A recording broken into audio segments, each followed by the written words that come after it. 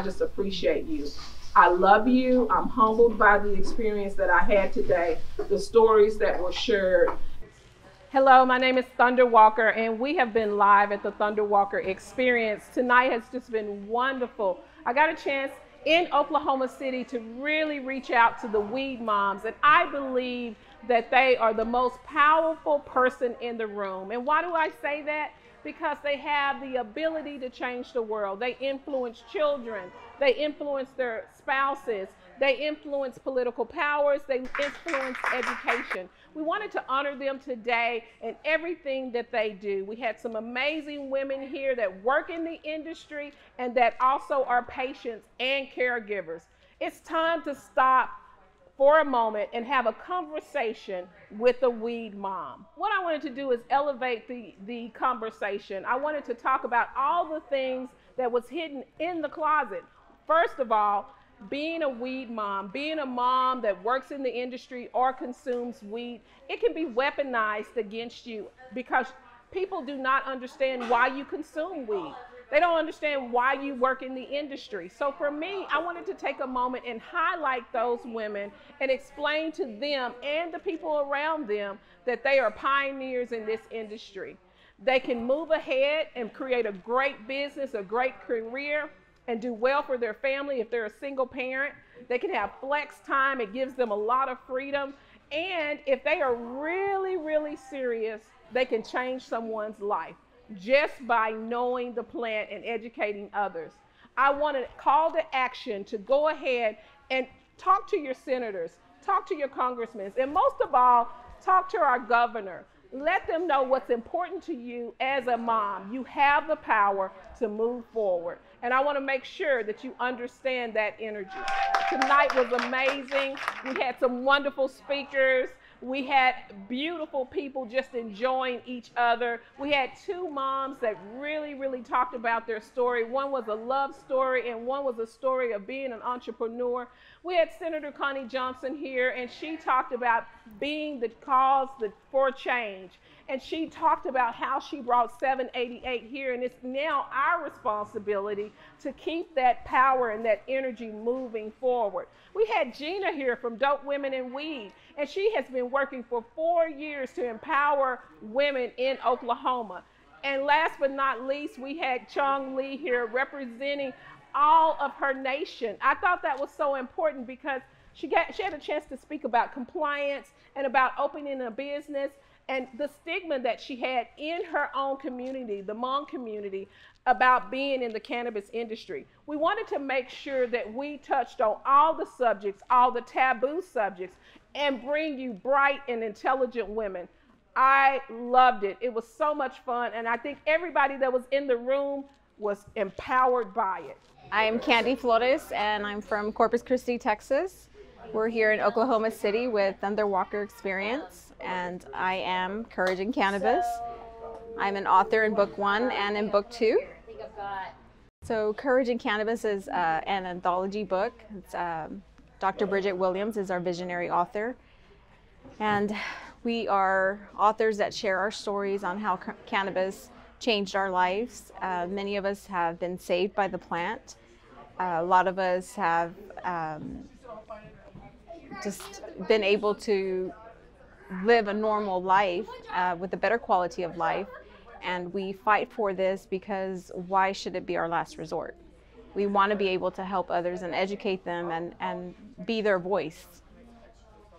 So, for myself, uh, being on 18 prescription medicines as well as a morphine pump, uh, cannabis, after all that, you know, changed, changed my life.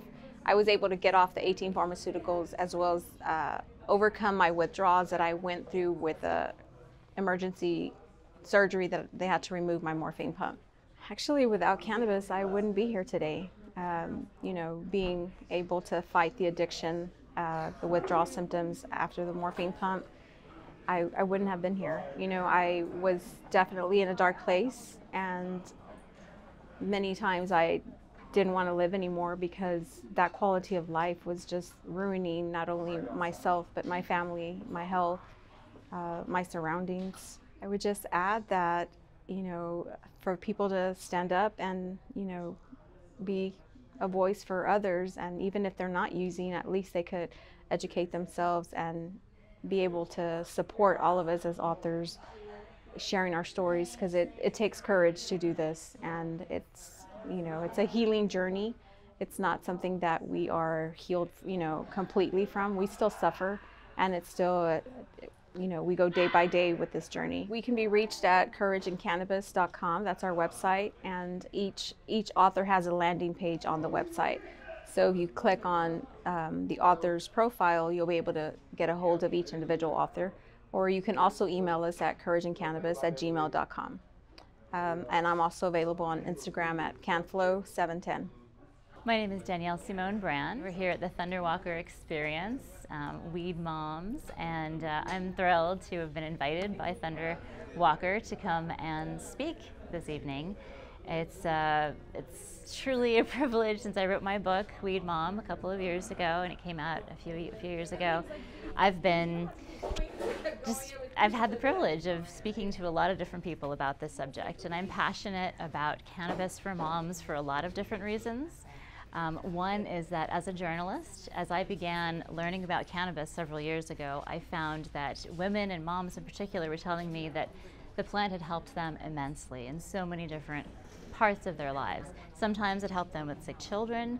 Um, they were also telling me it helped them with their chronic pain, with their um, mental health, with PTSD, anxiety, depression, real you know issues in our day and age, and um, especially among younger people and moms right now, there's really an epidemic of anxiety, I would say. Um, so the fact that so many women and moms were telling me their really positive stories about cannabis uh, started to, to, change my mind. I had some outdated notions about the plant prior to that, and honestly, I didn't think it was medicine um, because I didn't know. You know, I just didn't understand. So now that I, um, well, once once I my interest was piqued. I went on my own personal exploration journey, found it to be transformative for myself as a mother, as a partner, just as a human being, honestly. And so I keep talking about it and I keep writing about it. And my book came out, as I said, in 2020. And, um, you know, I'm also really feel privileged to contribute to Courage in Cannabis. It's, um, yeah, it's, it's a wonderful book put together by people who truly care about the plant, care about patients, care about people's quality of life, and that's something I can get behind. You can find me uh, if, if, you're interested, if you want me to say that, at Danielle Simone Brand, that's my website, or at Danielle Simone Brand on Instagram. And um, yeah, we're, we're out here just trying to change minds and you know help open people's hearts to this, this transformative plant. So thanks for being part of it.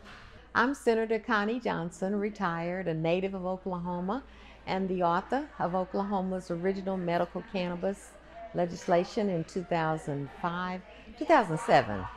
Um, I was the um, leader, the shepherd, the bring all the people together, the mother of the movement that finally resulted in us legalizing it, the people legalizing medical cannabis in 2018, State Question 788. And um, I've watched with interest because it was a statutory amendment to see how this legislature has responded. Uh, their most egregious attacks coming this year uh, in terms of the, the proposals that have been made that actually set us back from what we intended in State Question 788. I'm still on this mission, on this cause, because I know that the people of Oklahoma have the power. Their stories are powerful. And when we can help them realize that and then start to tell those stories in ways that touch and reach policymakers to hopefully get them to do the right thing. But when they don't do the right thing, that these same people will either run for office themselves or promote candidates who do support our drop dead issue. Cannabis was put here by God for his people for good. And I've seen thousands of cases of where this has been a life changing experience for children, for families, for people who are dying, for veterans with PTSD. I'm committed to helping folks appreciate that, but then act on it. Tonight is, I believe, another version of advocacy. And advocacy literally does always and should come together around an issue. The, the backdrop issue here, in terms of women in the cannabis space, um, cannabis moms, weed moms, the book, is that women in particular are facing some challenges that I didn't realize existed. I didn't realize that women, among other things, in Oklahoma, where we are continually disparaged, are being disparaged either for being professionals in the cannabis space or being mothers in the cannabis space. And they're being threatened by the Department of Human Services Child Welfare on a regular basis with taking people's children away. I didn't know this. So today's episode, today's experience, the Thunder Walker experience, was really about raising awareness about that. Not just raising awareness, but giving people the motivation, the information they need to not get mad, but to get even. To literally now taking what we know, having shared with so many with the common background and experience, taking that as a group and now acting to get the legislature straight, to get them educated, and if that doesn't work, to get them out of there.